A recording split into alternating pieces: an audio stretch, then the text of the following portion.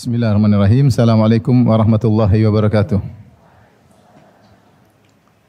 Alhamdulillahi ala ihsani wa syukru lahu ala taufiqihi wa amtinani wa asyhadu an la ilaha illallah wahdahu la syarika lahu ta'ziman li sya'ni wa asyhadu anna Muhammadan abduhu wa rasuluhu da ila ridwani Allahumma salli alaihi wa ala alihi wa ashabihi wa ikhwani. Para hadirat, para ummahat, para ibu-ibu yang dirahmati oleh Allah Subhanahu wa taala, Demikian juga para bapak-bapak yang ikut hadir pada kajian kali ini.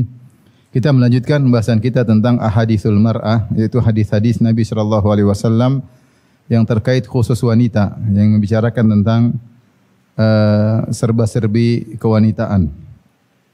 Pada kesempatan kali ini kita akan bahas suatu hadis yang diriwayatkan oleh Al-Imam Al-Bukhari dan Al-Imam Muslim.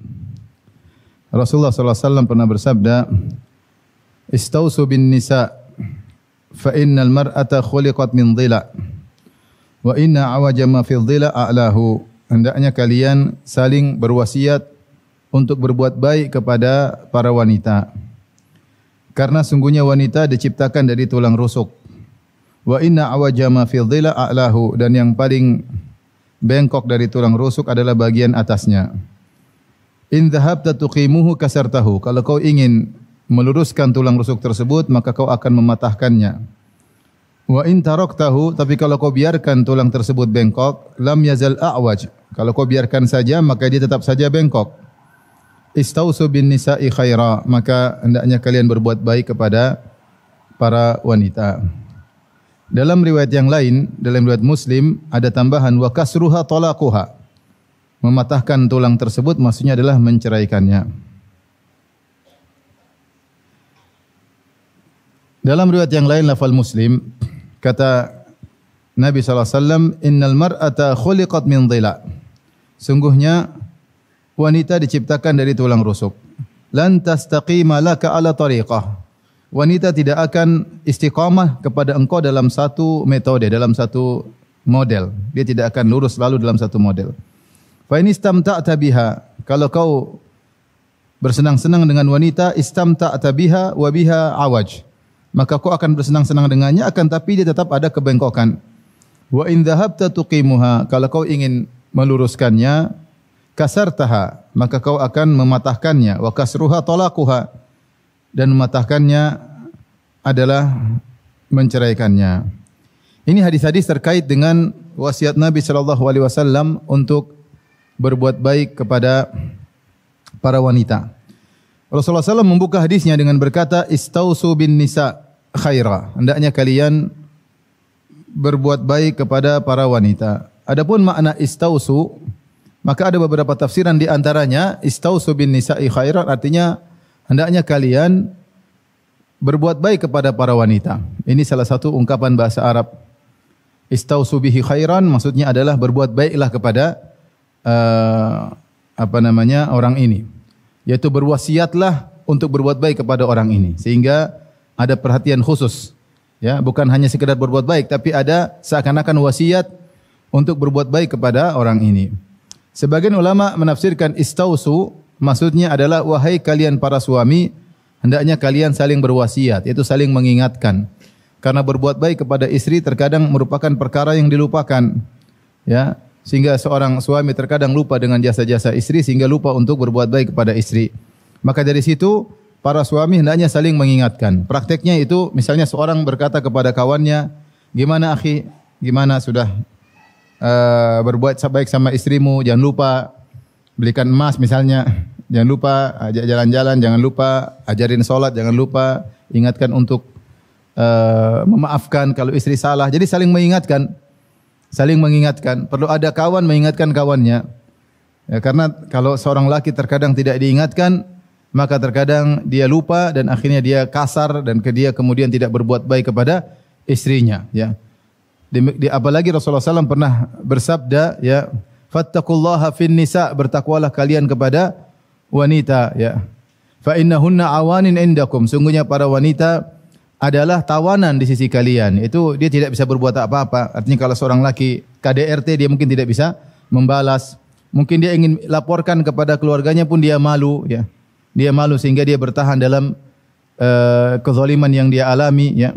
Maka Rasulullah berkata, "Fattaqullaha," bertakwalah kalian dalam berbuat baik kepada para wanita. Oleh karenanya di antara mana istausu yaitu hendaknya kalian para suami saling mengingatkan, saling mengingatkan. Maka tidak mengapa kita para laki saling ingatkan gimana sama istrimu jangan lupa maafin, jangan lupa ajak jalan-jalan, jangan lupa ajak pengajian. Ya. Jangan lupa belikan hadiah ya. Karena itu sunnah Nabi sallallahu alaihi wasallam para laki saling mengingatkan untuk berbuat baik kepada istri-istri mereka. Taib. Rasulullah menyuruh untuk berbuat baik kepada para wanita. Kenapa? Rasulullah sebutkan sebabnya. Ini fa fa innahu fa innal mar'ah ini untuk menjelaskan sebab.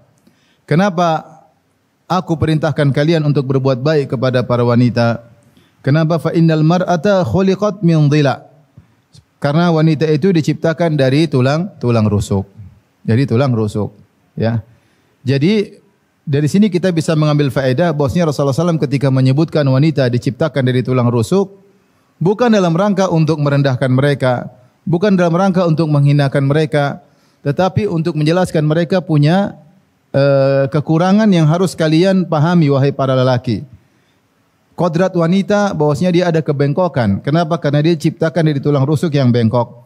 Maka kalian sebagai suami harusnya memahami akan hal ini memahami akan kodrat tersebut, maka jangan pernah berangan-angan istri kalian lurus, ya, dikasih tahu, dikasih tahu langsung paham, dikasih tahu langsung dalam, enggak mesti begitu. Karena wanita kodratnya bengkok, maka kalian harus sabar dalam menasihati mereka dan bersabar dalam berbuat baik kepada mereka. Adapun wanita diciptakan dari tulang rusuk, maka datang ayat-ayat memberi isyarat akan hal tersebut. Di antaranya Allah berfirman dalam surat An-Nisa ayat pertama. Ya ayyuhan nasu taqu rabbakumul ladzi khalaqakum min nafsi wahidah wa khalaqa minha zawjaha wa batha minhuma rijalan wa nisaa. Kata Allah Subhanahu wa taala, wahai manusia, bertakwalah kalian kepada Rabb kalian, yaitu kepada Allah Subhanahu wa taala. Alladzi khalaqakum min nafsi wahidah, yang telah menciptakan kalian dari jiwa yang satu, maksudnya Adam alaihissalam. Wa khalaqa minha zawjaha. Lantas Allah menciptakan dari jiwa yang satu tersebut yaitu dari Adam istrinya. Allah ciptakan istrinya dari Adam alaihissalam. Setelah itu wa batha minhuma rijalan katsira wa nisaa. Lalu Allah uh, ciptakan banyak sekali lelaki maupun wanita dari pernikahan Adam dan Hawa. Di sini disebutkan bahwasanya Hawa diciptakan dari Adam alaihissalam. Demikian juga Allah sebutkan dalam surat Al-A'raf ayat 189. Allah berfirman, berfirman huwallazi khalaqakum min nafsi wahidatin wa ja'ala minha zawjaha liyaskuna ilaiha. Dialah Allah yang telah menciptakan kalian dari jiwa yang satu, yaitu Adam alaihissalam.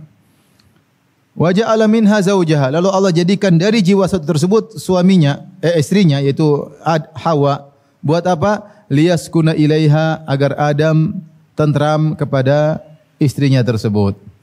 Demikian juga Allah singgung dalam surat Ar-Rum ayat 21. Allah berfirman, "Wa min ayatihi an khalaqalakum min anfusikum azwajan litaskunu ilaiha."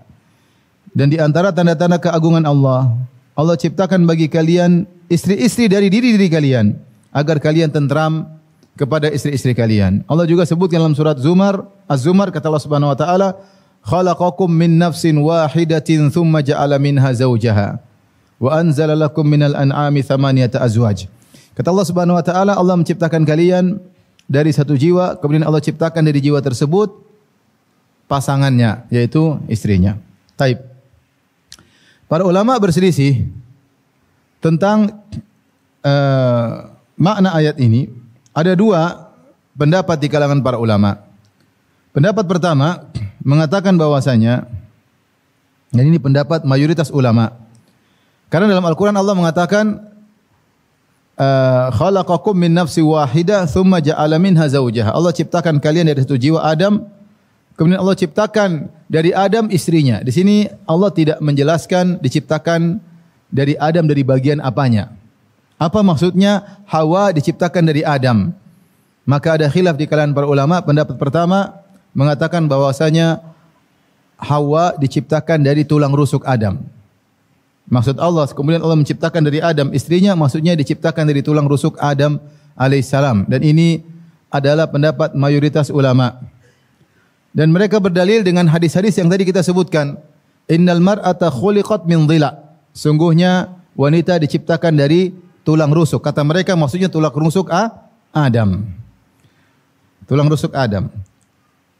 Dan ini ses, ses, sesuai juga dengan apa yang disebutkan dalam perjanjian lama Eh, dalam kitab Kejadian yaitu dalam Bible dalam perjanjian lama dalam kitab Kejadian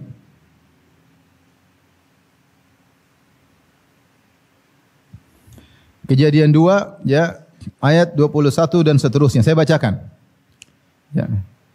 Lalu Tuhan Allah membuat manusia itu tidur. Jadi Adam dimasukkan dalam surga, kemudian Allah membuat manusia itu maksudnya Adam tidur nyenyak. Ketika ia tidur, Tuhan Allah mengambil salah satu rusuk daripadanya, yaitu satu rusuk diambil. Lalu menutup ada yang disebut rusuk sebelah kiri, diambil rusuknya Adam, lalu menutup tempat itu dengan daging. Setelah diambil tulang rusuk yang diambil ditutup dengan daging, Adam lagi tidur. Dan dari rusuk yang diambil Tuhan Allah dari manusia itu dibangunnyalah seorang perempuan. Dari tulang rusuk itu dijadikan perempuan. Lalu dibawanya kepada manusia itu. Lalu perempuan itu dihadirkan di hadapan Adam. Lalu berkatalah manusia itu, inilah dia, tulang dari tulangku dan daging dari dagingku. Ia akan dinamai perempuan sebab ia diambil dari laki-laki.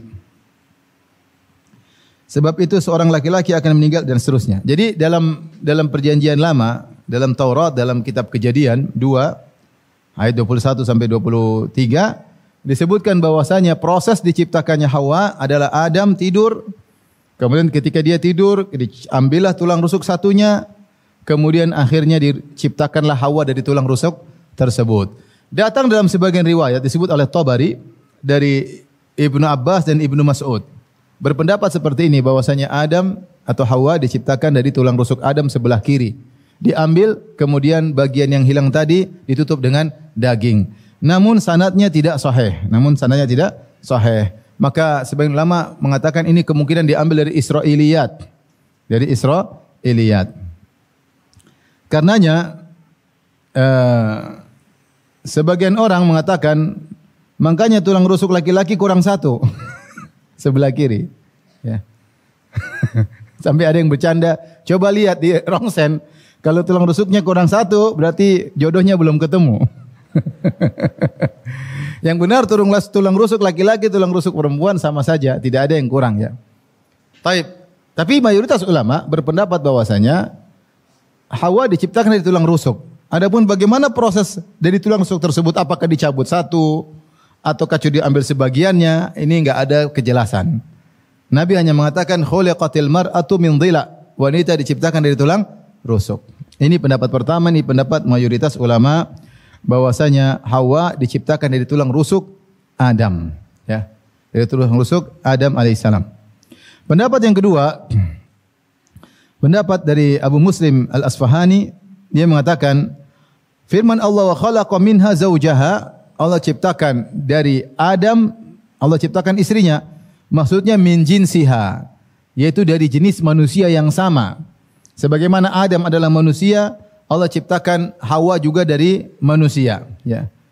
Seperti firman Allah Subhanahu wa taala, "Laqad manna Allahu 'alal mu'minin idz ba'atha fihim rasulan min anfusihim." Sungguh Allah telah beri anugerah kepada kaum mukminin ketika Allah mengutus dari diri mereka seorang rasul. Maksudnya dari jenis apa?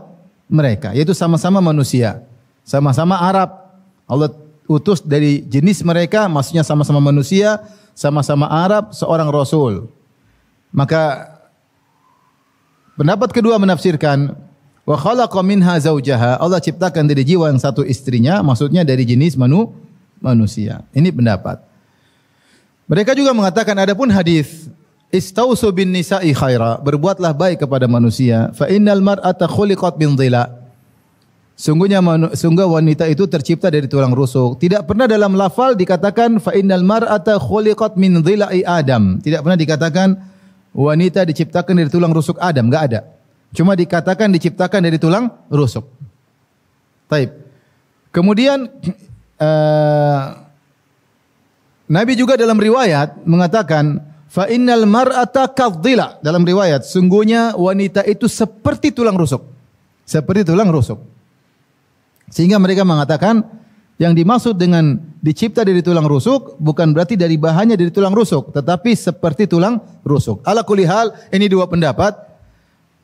Tujuannya sama. Pendapat pertama mengatakan secara zahirnya bahwasanya wanita tercipta dari tulang rusuk, masih tulang rusuk Adam. Pendapat yang kedua maksudnya ini adalah bahasa kiasan wanita itu seperti tulang rusuk. Apakah kita berdapat pendapat yang pertama atau pendapat yang kedua? Maksudnya Rasulullah ingin menjelaskan bahwasanya wanita itu punya uzur.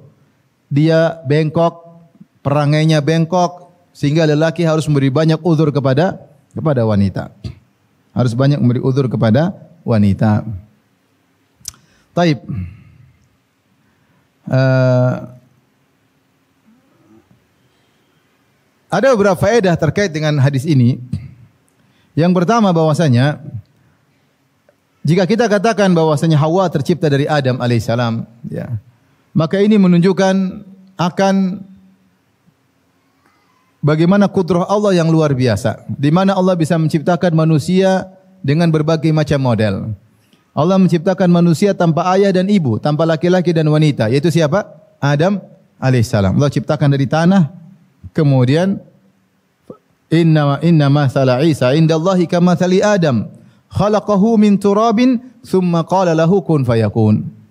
Allah ciptakan Adam dari tanah. Allah bikin bentuknya terus Allah tinggal bilang kun fayakun. Jadi maka jadilah. Dari benda mati kemudian menjadi hidup. Dari tanah berubah menjadi daging. Dari tanah berubah menjadi daging. Bahkan dalam sebagian riwayat disebutkan Allah menciptakan Adam dari berbagai macam permukaan tanah.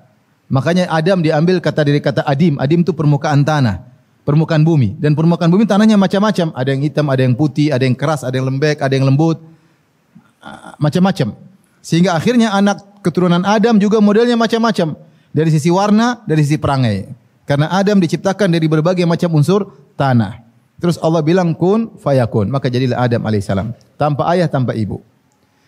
Kemudian Allah menciptakan manusia tanpa perempuan, cuma dari laki-laki itu Hawa. Diciptakan dari siapa? Ah? Adam. Diciptakan dari Adam, bukan dari bapak tapi dari laki-laki tanpa perempuan yaitu Hawa. Allah ciptakan manusia tanpa laki-laki dari perempuan saja. Kalau Hawa dari laki-laki tanpa wanita, Allah menciptakan manusia dari wanita tanpa lelaki yaitu Nabi Isa alaihissalam yang lahir dari ibunya Maryam tanpa suami. Adapun sisa yang lainnya adalah dari laki dan perempuan. Ini secara pembagian akli, pembagian secara mantik bahwasanya manusia tercipta cuma empat model. Pertama tanpa ayah dan ibu, kedua tanpa ibu, ketiga tanpa ayah, keempat dengan ayah dan ibu. Paham? Sama seperti ketika Allah Subhanahu wa taala menjelaskan tentang model-model anak-anak, Allah mengatakan, "Yahabu liman yasha'u inathan." wa yahabu liman yasha'u dhukur au yuzawwijuhum dhukranan wa inatha wa yaj'alu man yasha'u aqima innahu alimun qadir. Kata Allah Allah memberikan sebagian orang cuma anak perempuan. Ada orang anaknya cuma perempuan. Dan Allah menjadikan sebagian orang Allah hadiahkan anugerahkan cuma anak laki-laki saja, anaknya laki-laki semua. Dan ada yang Allah au yuzawwijuhum dhukranan wa inatha. Ada yang Allah jadikan punya anak laki-laki dan perempuan. Wa ja'alu yasha'u aqima dan ada orang yang tidak punya anak. Setelah itu Allah tutup ayatnya dengan berkata innahu alimun qadir. Allah Maha berilmu dan Allah Maha kuasa. Artinya dia mampu membuat model-model makhluknya dengan berbagai macam model. Subhanallah, ada orang yang punya anak cuma perempuan. Ada orang punya anak cuma laki-laki. Ada seorang dia nikah dan dia punya anak perempuan semua. Akhirnya dia nikah lagi. Setelah nikah lagi ternyata dia punya anak perempuan juga. Dia nikah lagi, punya anak perempuan juga. Sampai anaknya perempuan jumlahnya 65. 65. Banyak apa sedikit? Banyak. Wakeh ya. Banyak 65. Dia datang kepada salah seorang guru kita. Dia cerita, Syekh, saya punya anak 65. Semua perempuan. Masya Allah. Kata dia 55 sudah menikah. Tinggal 10. Engkau mau satu Syekh katanya. anak perempuan 65. Allahu Akbar ya. Ya. Kemudian saya juga beberapa waktu lalu pas saya di di Malang ada kawan cerita, dia punya paman. menikah istri pertama anaknya 11 perempuan. Dia ingin punya laki-laki, dia nikah lagi. Istri kedua anaknya 11 laki-laki. Dia punya 22, 11 perempuan, 11 apa? Laki-laki. Antum bisa begitu? Enggak bisa, itu dari Allah Subhanahu wa taala. Jadi mau saya ya, dan ada orang udah menikah nikah istri kedua, istri ketiga, istri keempat enggak punya anak, ada. Allah tunjukkan bahwasanya Allah Subhanahu wa taala Maha kuasa dalam membuat beragam makhluk-makhluknya. Di antaranya dalam masalah ragam penciptaan. Ada Allah ciptakan manusia tanpa ayah dan ibu, yaitu Adam. Ada Allah ciptakan manusia tanpa ibu, yaitu siapa? Hawa. Ada Allah ciptakan manusia tanpa ayah, siapa Nabi? Isa alaihissalam. Dan ada Allah ciptakan manusia dengan ayah dan ibu. Makanya ketika orang-orang Nasara menganggap Nabi Isa adalah suatu yang menakjubkan karena lahir tanpa tanpa ayah sehingga mereka mengatakan ayahnya adalah Allah Subhanahu wa taala, maka Allah bantah, mudah. Bantahnya banyak. Di antaranya Allah mengatakan, "Inna mathala Isa indallahi kamathali Adam." Sungguhnya perumpamaan Isa sama seperti Adam, bahkan Adam lebih hebat. Khalaqahu min turabin thumma qala lahu kun fayakun. Allah ciptakan Adam dari tanah, Allah tinggal bilang kun fayakun. Adam lebih hebat tanpa ayah, tanpa ibu. Ya. Nabi Isa cuma tanpa ayah. Kemudian juga di antara logika yang disampaikan oleh Nabi ketika berdebat dengan Nasrani Najran, ya, yaitu bahwasanya jika Allah punya anak, harusnya ayah anaknya mirip dengan ayahnya, harusnya anaknya mirip dengan apa? Ayahnya. Ternyata sang anak yang diakui sebagai anak Tuhan ternyata lapar, ternyata ketakutan, ternyata tidur, ya, ternyata makan tidak sama dengan ayahnya. Ya. Berarti dia bukan anak dari Allah Subhanahu wa taala. Logika sederhana, bantahan-bantahan banyak. Tapi intinya uh, di sini ayat ini menunjukkan bagaimana Allah Maha Kuasa, Alimun Qadir, dia Maha Kudrah sehingga Allah Subhanahu wa taala bisa menciptakan manusia dengan berbagai macam ragam. Tapi yang kedua, faedah yang bisa kita ambil, sebagian orang mengatakan mereka menolak hadis Nabi, "Innal mar'ata khuliqat min dhila." bahwasanya wanita diciptakan dari tulang rusuk. Padahal hadisnya sahih riwayat Bukhari dan Muslim. Kata mereka ini melazimkan bahwasanya penghinaan terhadap wanita karena diciptakan dari suatu yang bengkok. Kata mereka ini penghinaan terhadap apa? Wanita. Maka eh, bantahannya tidak bukan berarti kalau diciptakan dari pertama tulang rusuk bukan suatu yang hina, ya tidak? Bukan suatu yang hina, tidak. Ya. Kalaupun suatu yang hina bukan berarti hasil ciptaannya jadi hina. Contohnya manusia. Manusia mulia atau tidak? Mulia. Allah mengatakan walaqad karramna bani Adam. Wa hamalnahum fil barri wal bahr wa razaqnahum minat thayyibat wa faddalnahum ala katsirin mimman khalaqna tafdila. Sungguh kami telah muliakan anak-anak Adam. Ya. Kemudian di akhirat kata Allah wa khalaq wa faddalnahum dan kami muliakan mereka di banyak makhluk-makhluk yang lain, Adam. Kata Allah Subhanahu wa taala, Bani Adam walaqad khalaqnal insana laqad khalaqnal insana fi ahsani taqwim. Kami telah ciptakan manusia di atas bentuk yang terindah. Bentuk yang terindah. Makanya ketika ada seorang pernah dia memuji istrinya. Dia bilang kepada istrinya, saking cantiknya istrinya mungkin, saking indahnya dia bilang, "Wahai istriku, kalau rembulan lebih indah daripada kamu, saya cerai kamu." Saking dia cintanya. Dan orang Arab sering mengungkapkan rembulan sebagai tanda tampan maupun cantik. Saking dia ingin puji istrinya, dia bilang, seandainya rembulan lebih indah daripada kamu, saya ceraikan kamu. Setelah itu dia mikir-mikir lagi, waduh, jangan-jangan, jangan-jangan saya ceraikan istriku. Akhirnya dia datang kepada sebagian ulama. Dia bertanya, wahai alim, wahai ustadz, wahai kiai, saya pernah bilang kepada istri saya, kalau bulan lebih indah daripada kamu, maka kamu saya cerai. Maksudnya dia puji istrinya, saking cantiknya istrinya. Sementara orang-orang Arab mengungkapkan kalau orang ganteng al-wajhu wajhuka kal qamar, wajahmu seperti rembulan. Maksudnya menunjukkan apa? Ketampanan atau kecantikan. Maka apakah istri saya jatuh cerai? Maka ulama tersebut mengatakan tidak. Karena manusia lebih indah daripada bulan. Laqad khalaqnal insana fi ahsani taqwim. Sungguh kami telah menciptakan manusia dalam bentuk yang indah. Jadi manusia laqad wa laqad karramna bani Adam. Kata Allah kami telah memuliakan anak Adam kami bentuk dalam bentuk yang sempurna ya. Fa'adalak kami bikin dia bentuknya seimbang sehingga berjalan di atas dua kaki dengan tubuh yang seimbang, tidak harus empat kaki, dua, dua kaki, ya. Taib. Bukankah manusia diciptakan dari air yang hina? mimma immahin kata Allah Subhanahu wa taala. Ya. Manusia diciptakan alam nakhluqukum mimma immahin. Bukankah kami telah menciptakan kalian dari air yang hina? Maksudnya air apa? Air mani, iya enggak? Mimma immahin. Dalam ayat yang khuliqa mimma indafiqa. Manusia diciptakan dari air yang terpancar. Diciptakan dari air yang hina yang kita lihat jijik, kita lihat jijik lihat air mani. Kemudian manusia tersebut keluar dari dua kemaluan. Dari kemaluan ayahnya, lahir dari kemaluan ibunya. Ya tidak? Tapi apakah diciptakan dari air mani yang hina kemudian manusia menjadi hina? Jawabannya tidak. Jawabannya tidak. Maka seandainya tulang rusuk adalah suatu yang hina, bukan berarti wanita menjadi wanita yang apa? Makhluk yang hina tidak. Apalagi tulang rusuk bukan suatu yang hina. Rasulullah ceritakan tulang rusuk itu beng bengkok. Paham? Adam pun diciptakan dari tanah, tanah juga diinjak-injak. Tanah juga diinjak-injak. Taib. Jadi tidak ini bukan alasan untuk menolak hadis Nabi sallallahu alaihi wasallam bahwasanya uh, wanita hina. Dengan hadis ini berarti Rasulullah sedang menghina wanita. Tidak, tidak benar.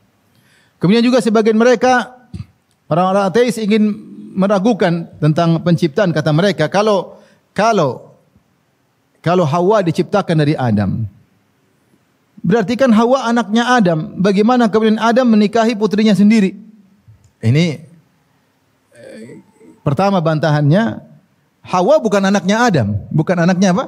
Adam. Tetapi hanya diciptakan dari apa? Adam. Ya. Sehingga tidak dikatakan Hawa adalah anaknya Adam. Kemudian juga, ya, masing-masing nabi punya syariat sendiri. Likullin ja'alna minkum syir'atan wa minhaja. Kalaupun itu anaknya Adam, kemudian Adam menikahinya, bukan berarti tidak boleh. Bukan berarti apa namanya itu adalah kesalahan karena masing-masing nabi punya syariat sendiri. Yang benar Hawa bukan anaknya siapa? Adam. Cuma Hawa diciptakan dari tulang rusuk Adam. Ini maksudnya saya sampaikan sebagian syubhat yang ingin meragukan tentang kisah penciptaan Hawa dari Adam alaihissalam. Ini kalau kita anggap pendapat yang benar bahwasanya Adam diciptakan dari tulang rusuk, eh, Hawa diciptakan dari tulang rusuk apa? Adam. Dan kita tahu tadi ada pendapat lain. Maksudnya dari jenis manusia yang sama. Taib. Yang berikutnya Faedah berikutnya, Allah menciptakan Hawa dari Adam alaihissalam. Apakah dari jenis manusia yang sama ataukah dari tulang rusuk Adam berdasarkan pendapat khilaf di kalangan para ulama. Tujuannya apa? Agar Adam bisa tentram dengan Hawa sehingga dari jenis yang sama, apalagi dari bagian dari tubuhnya.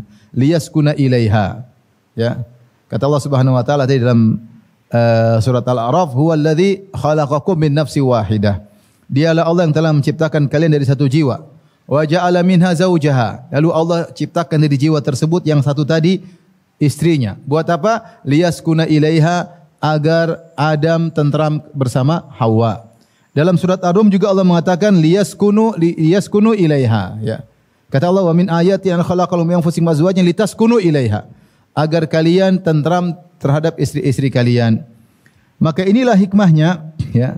Kenapa Allah ciptakan Hawa dari Adam agar Adam tentram bersama Hawa? Karena percuma seorang lelaki ya ketika Adam suruh masuk surga berbagai macam kenikmatan tapi enggak ada istri. Percuma tidak? percuma ya. Ada orang kaya raya, punya hotel, punya mobil mewah, punya emas, perak tapi bojo randue ya. Percuma buat apa? Randue bojo buat apa ya? Buat apa? Punya sawah ladang banyak, sawah seupil nggak punya, percuma. Apa apa fungsinya? Seorang tidak akan mencapai ketentraman kebahagiaan yang sesungguhnya kecuali dia punya pasangan, dia punya istri. Jika tidak, dia akan bingung mencari kebahagiaan. Dia akan bingung mencari kebahagiaan. Maka ini hikmahnya kenapa Hawa diciptakan di tulang rusuk Adam agar Adam punya pasangan yang bisa dia tentram terhadap pasangan tersebut. Ya, kalau cuma dikasih daging, cuma dikasih pohon, dikasih buah-buahan, masih ada yang kurang. Masih ada yang kurang. Kodrat Adam, dia harus punya pasangan, maka Allah ciptakan pasangan.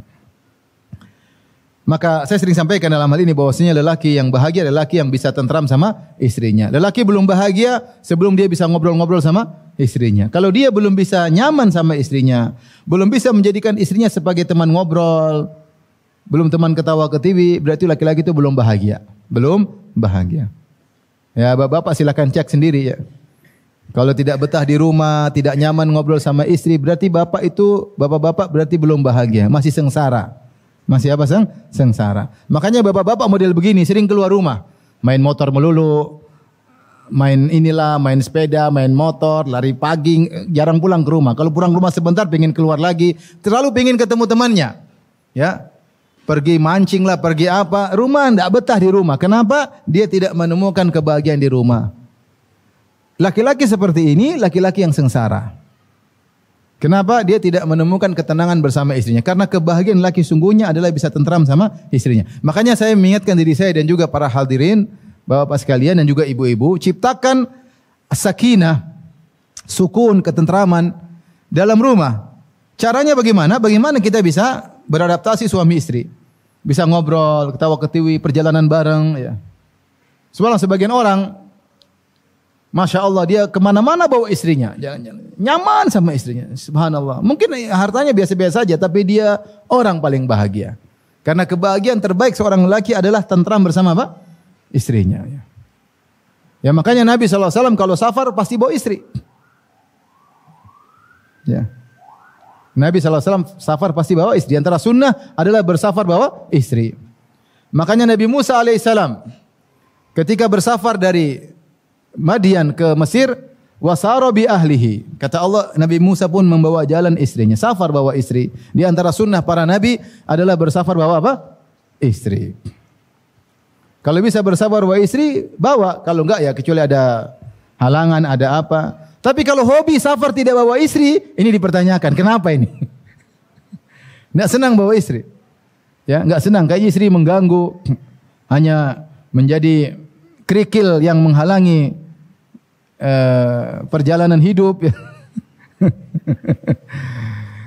Oleh karenanya, lelaki yang sejati, lelaki yang sesungguhnya bahagia adalah yang mendapatkan sakinah bersama istrinya berdasarkan ayat ini lias kuna ilaiha sehingga Adam tentram bersama Hawa litas kunu ilaiha agar kalian mendapatkan sakinah dengan istri-istri kalian. Kemudian sebagian ahli tafsir menyebutkan sebelum Adam diuji oleh Allah Subhanahu wa taala dan sebelum diturunkan ke atas muka bumi dan dia akan mendapatkan banyak ujian. Mendapatkan kesengsaraan karena Allah sudah mengatakan kepada Adam kepada Adam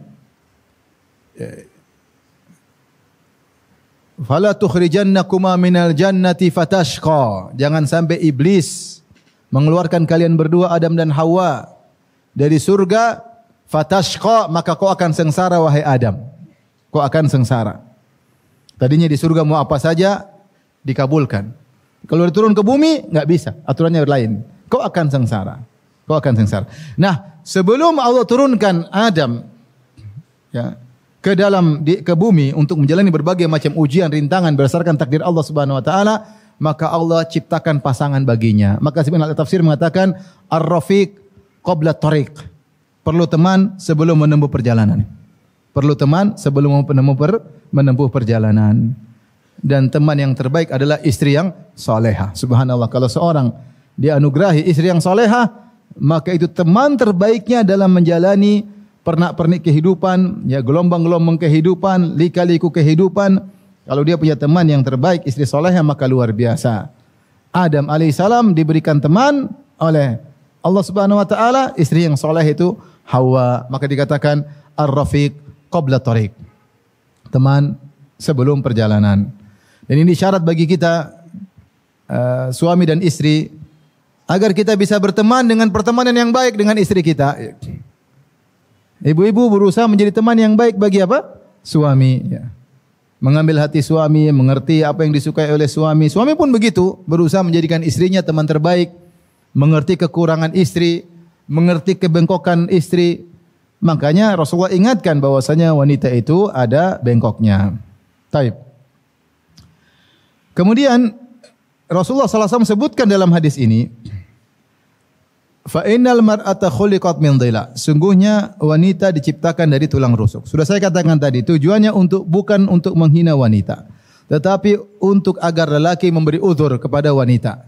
Makanya Rasulullah SAW membuka hadisnya dan menutup hadisnya dengan perkataan yang sama. Istausu bin nisa'i khaira. hendaknya kalian berbuat baik kepada para wanita.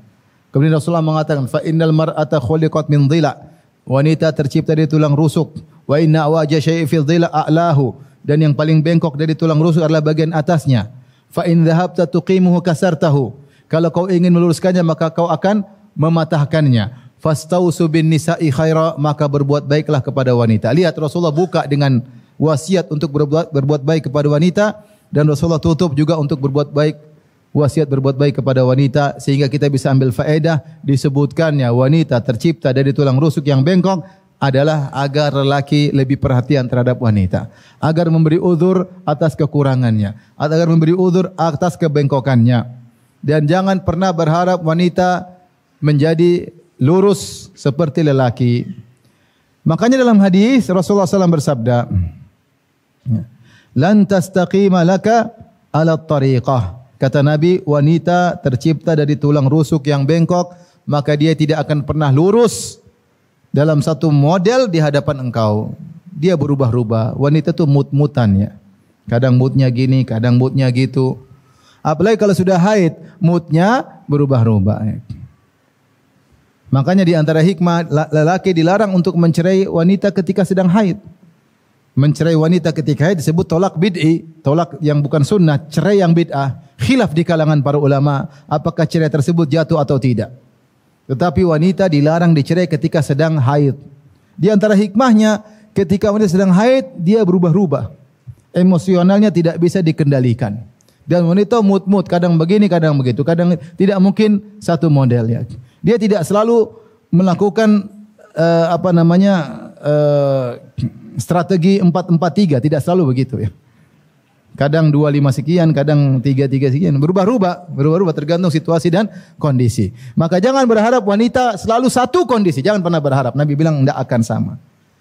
Jangan kita bilang kan wanita begini, harusnya kamu kan kemarin sudah begitu, kenapa berubah? Jangan bilang begitu. Karena memang wanita bisa berubah, berubah-ubah. Lelaki lebih mudah, diketahui modelnya, diketahui apa nama alurnya, ya. Dia modelnya begini ya sudah. Wanita bisa oh lelaki senangnya makan sebelum zuhur misalnya. Kemudian dia senang ngopi ketika asar. Wanita belum tentu berubah-ubah ya. Berubah-ubah. Ini kita bicara apa? Uh, sikap ya. Oleh karenanya Rasulullah mengatakan lantas taqima laka ala tariqah. Wanita tidak akan satu model di hadapan engkau. Dia bisa berubah-ubah. Kenapa dia suka berubah-ubah? Karena dia diciptakan dari tulang ru, tulang rusuk yang apa, Beng? Bengkok. Dan ini adalah ujian bagi lelaki untuk bersabar menghadapi wanita. Tetap bersenang-senang dengan wanita, tapi jangan coba-coba untuk meluruskannya, karena meluruskannya pasti patah. Kalau patah berarti menceraikannya. Silakan bersenang-senang dengannya, dan dia tetap dalam keadaan bengkok. Kata Nabi SAW, ya, dalam hadisnya, Fa in istamta'ta biha istamta'ta biha. Kalau kau bersenang-senang dengan sang, sang wanita, maka kau akan bisa bersenang-senang dengannya wa biha awaj dan tetap dia ada kebengkokan. Maka ini wasiat bagi kita semua untuk benar-benar beri uzur kepada wanita. Ya, kalau moodnya berubah ya wajar, namanya juga apa? Wanita. Tidak mau ngalah wajar karena itu namanya apa? Wanita. Ya. Bengkok wajar karena dia apa? wanita. Kalau dia gagah perkasa, tenang, oh itu bukan wanita. itu bencong. Kalau perempuan pasti bengkok. Moodnya berubah-ubah. Hari ini bilang ini, besok pingin itu. Ya. Hari ini bilang ini, tiba-tiba pingin yang yang lain. Kenapa? Dia memang tercipta dari tulang rusuk yang bengkok. Maka sabarlah para lelaki untuk bermuamalah dengan para wanita. Oleh karenanya ini ujian bagi lelaki untuk berbuat baik kepada wanita sehingga siapa lelaki yang bisa lulus dalam ujian ini maka dia menjadi terbaik di sisi Allah Subhanahu wa taala. Maka benarlah sabda Nabi sallallahu alaihi wasallam khairukum khairukum linisaikum. Sebaik-baik kalian adalah yang terbaik bagi istri kalian. Wa ana khairukum li ahli dan aku adalah suami yang terbaik bagi istriku. Karena bagaimana dia mau bisa berakhlak baik kepada makhluk yang ada kebengkokan di dalamnya, yaitu istrinya, itu wanita. Maka ini ujian bagi laki untuk sabar menghadapi wanita Lihatlah bagaimana sikap Nabi sallallahu alaihi wasallam. Kalau kita baca sikap Nabi terhadap istri-istrinya, Nabi tidak memposisikan dia sebagai seorang guru besar, tidak. Tapi dia memposisikan dirinya sebagai seorang suami. Makanya terkadang istrinya angkat suara, ada atau tidak? Ada angkat suara.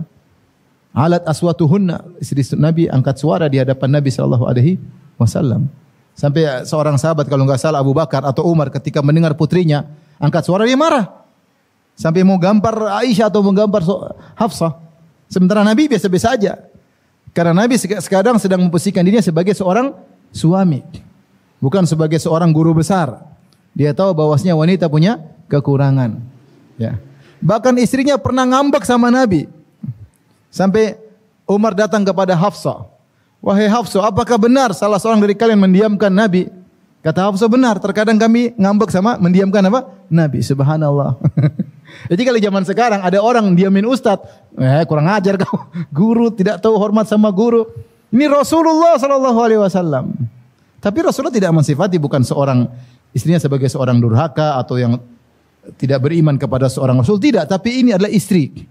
Istri. Rasulullah SAW memposisikan dirinya sebagai seorang suami sehingga dia beri uzur kepada istrinya.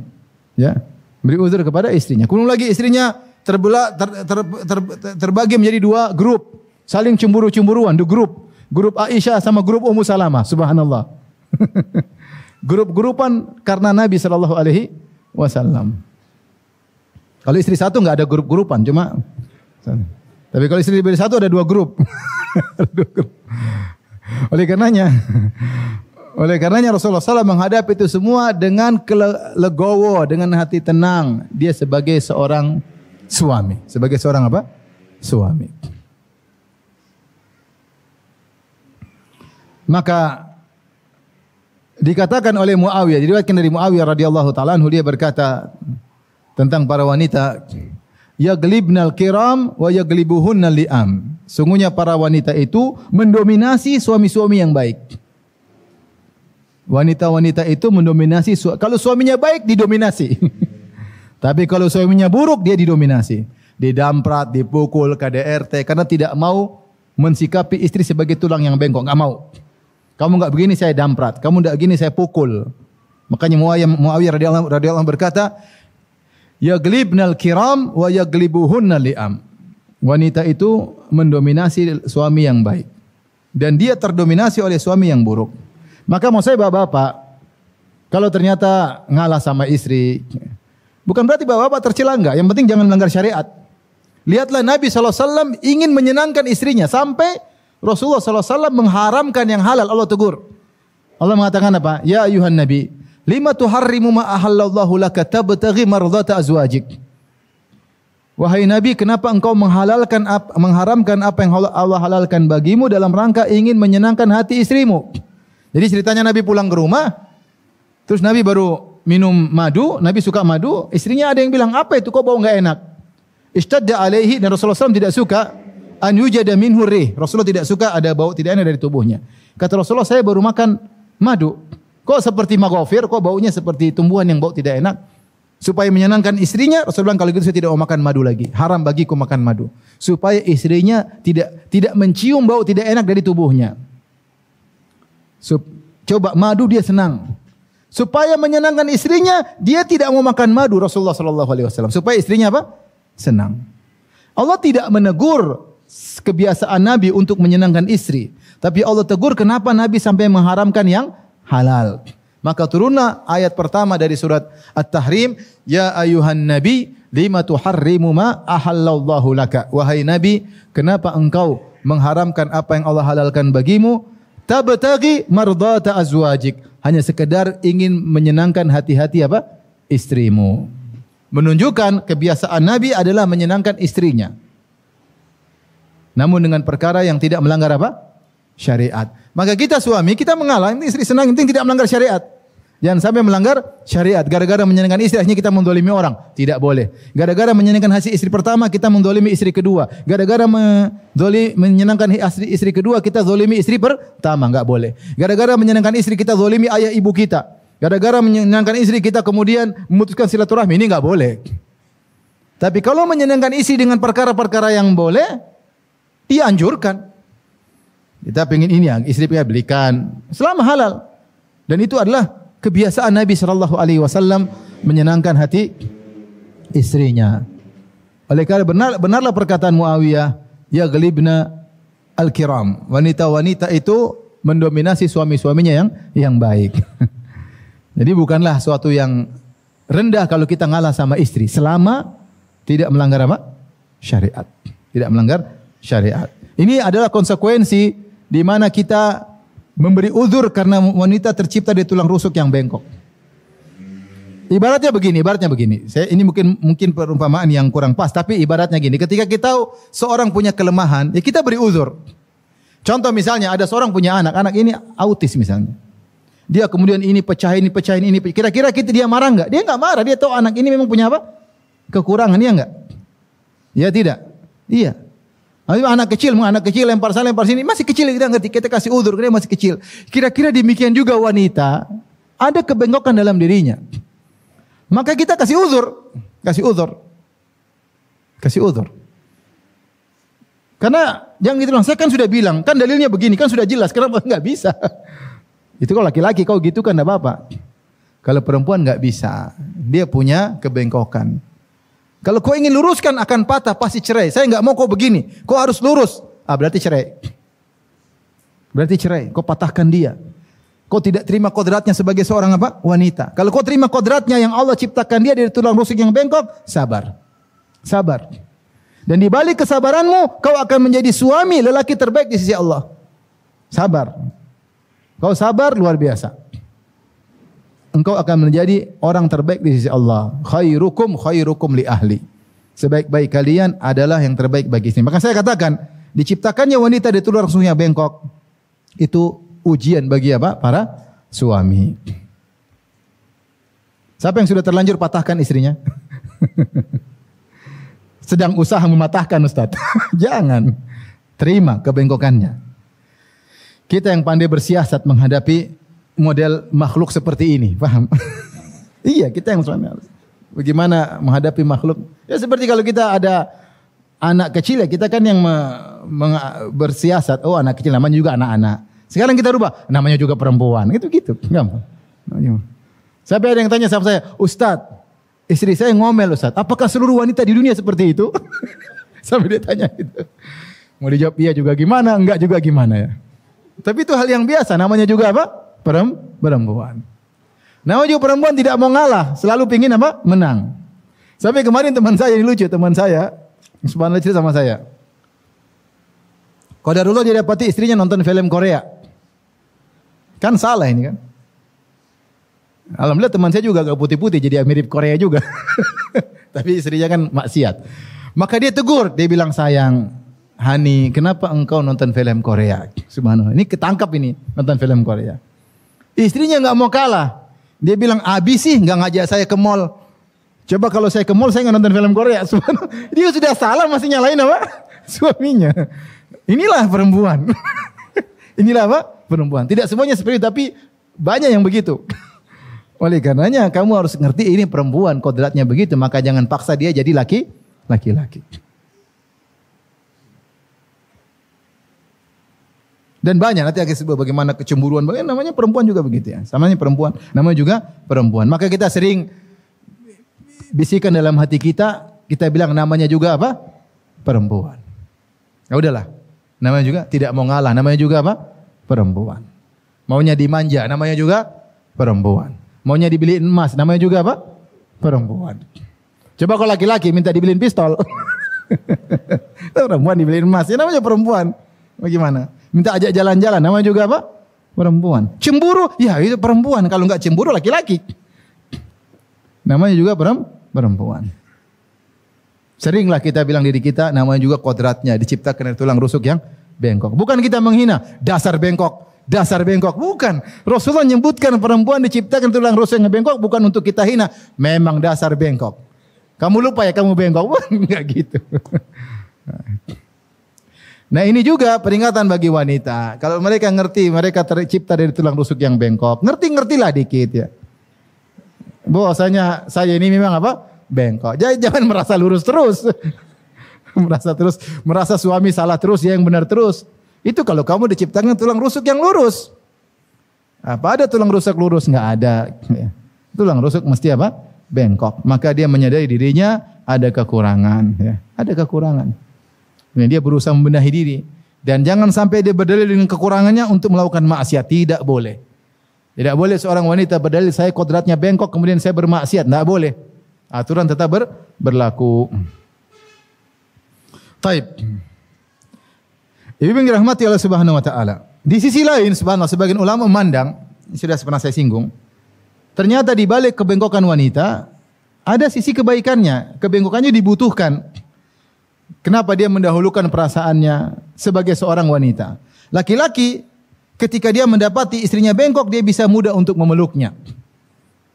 Bengkok ini membutuhkan suatu sosok untuk mengayominya, untuk menaunginya. Ya. Kebengkokannya itu dibutuhkan untuk merawat anak-anaknya, menterbiah anak-anaknya. Ya. Maka dikatakan bahwasanya wanita itu bukanlah uh, kompetitor bagi lelaki, tapi dia adalah partner bagi lelaki. Lelaki butuh wanita yang bengkok untuk menjalani kehidupan rumah tangga, yang manja, yang kemudian minta disayang, minta di ini sehingga lelaki bisa menunjukkan kejantanannya kepada makhluk yang bengkok ini. Coba kalau istrinya ternyata lurus seperti dia susah gagah perkasa. Susah. Kamu dari mana sayang? Saya dari pasar Abi. Kan repot. uh. Kamu tarik. Ada teman saya. Aduh, takut sama istrinya. Istrinya juara taekwondo. Jadi maksud saya, uh, ya itulah di, di lain ditinjau dari sisi kekurangannya. Tapi Allah menciptakan lelaki wanita seperti itu sebagai pasangan bagi lelaki-laki butuh makhluk yang seperti ini sehingga ada yang mengayomi. Bayangkan sehingga dia mengetahui perannya untuk mengayomi sang istri. Coba kalau wanita lurus tidak perlu diayomi, peran lelaki tidak muncul. Peran lelaki tidak tidak muncul. Dengan dengan adanya kekurangan kodrat wanita maka muncullah peran seorang lelaki di mana dia mengayomi apa? Uh, istrinya. Dengan kebegokannya maka sang wanita suka manja-manjaan, suka berhia, suka beria, suka lembut-lembut. Kan kebengkokannya tersebut. Lelaki sukanya suatu yang uh, gagah perkasa dan yang lainnya. Sehingga bertemulah sosok yang keras dengan sosok yang lembut. Maka jadilah komplit penyempurna satu dengan yang yang lainnya. Itulah hikmah dari Allah Subhanahu wa taala. Jadi uh, demikianlah hadirin dan hadirat yang dirahmati Allah Subhanahu wa taala. Intinya hadis ini mengingatkan kita para suami untuk berusaha berbuat baik kepada istri. Bahkan di antara tafsiran para ulama tadi sudah disebutkan istausu bin nisa'i khaira, hendaknya kalian saling berwasiat mengingatkan satu dengan yang lainnya. Kita hidup di zaman terkadang lelaki lupa, lupa dengan kekurangan atau kodrat istrinya sehingga berharap kesempurnaan dari istrinya. Ya, sehingga kemudian dia tidak terima ketika istrinya punya kekurangan, ketika istrinya punya kesalahan, tidak terima ketika istrinya manja-manja, ya. Dia lupa bahwa si memang wanita dikodratkan dengan demikian. Maka kita para suami hendaknya saling mengingatkan. Tidak ada salahnya ketika ngobrol sama laki ya gimana istrimu belum diajak jalan-jalan. Gimana eh kalau kita lagi di pasar eh belikan dong baju buat istrimu, belikan ini buat istrimu lagi punya duit nih, belikan hadiah dong. Ya kadang laki-laki kadang-kadang lupa bahwasanya istrinya butuh hal-hal yang seperti itu. Butuh hal-hal yang menunjukkan keromantisan ya. Hal yang kelihatannya sepele bagi kita ternyata tidak sepele bagi apa? Wanita. Saya contohkan aja seperti Aisyah radhiyallahu anha, dia cerita kalau dia habis minum, Rasulullah SAW minum dari bekas bibirnya. Rasulullah ambil gelasnya, mungkin Rasulullah putar, Rasulullah minum di bagian bekas bibir Aisyah. Bagi kita laki-laki apa apa masalahnya? Minum dari sisi mana? Mau pegang gelas begini, mau pegang gelas begini terserah. Ya tahu? Apa masalahnya? Tapi bagi wanita tidak sangat bermakna. Ketika istri minum dari sini, kita jangan minum begini, kita putar gini, paham? Baru bismillah. Ah, begitu. Alhamdulillah. Jadi itu bermakna bagi apa? Wanita. Bahkan Aisyah bercerita Rasulullah SAW makan ya, tulang yang masih ada dagingnya apa bahasa Jawa? Tulang masih ada daging, daging tengkleng ya. Ya, ah, ya, tapi yang tulang tapi masih ada dagingnya. Aisyah suka. Rasulullah ambil, dia gigit dari bekas gigitan siapa? Aisyah. Bagi kita tidak bermakna, tapi bagi wanita itu ber, bermakna. Itulah karena dia bengkok. Itulah kodratnya. Ya, kita harus mengerti bahwasanya kita begitu ingin menyenangkan dia dan ini sunnah Nabi sallallahu alaihi wasallam. Mengambil hati istri, menyenangkan hati istri selama tidak melanggar syariat. Selama tidak melanggar syariat. Maka berjuanglah bapak-bapak sekalian untuk menjadi suami-suami sejati. Suami-suami yang siap menerima kebengkokan apa? Istrinya. Tahu bahwa itu kodrat wanita. Kita sering belajar berkata namanya juga perempuan. Ulangi bapak-bapak. Namanya juga perempuan. Mau diapain lagi? Ya demikian saja apa yang disampaikan. Tapi demikian saja kajian kita. InsyaAllah kita lanjutkan pada hadis-hadis berikutnya terkait khusus wanita pada pertemuan berikutnya insyaallah taala. Subhanakallah bihamdik asyhadu an la ilaha illa anta astaghfiruka wa atubu ilaik. Assalamualaikum warahmatullahi wabarakatuh.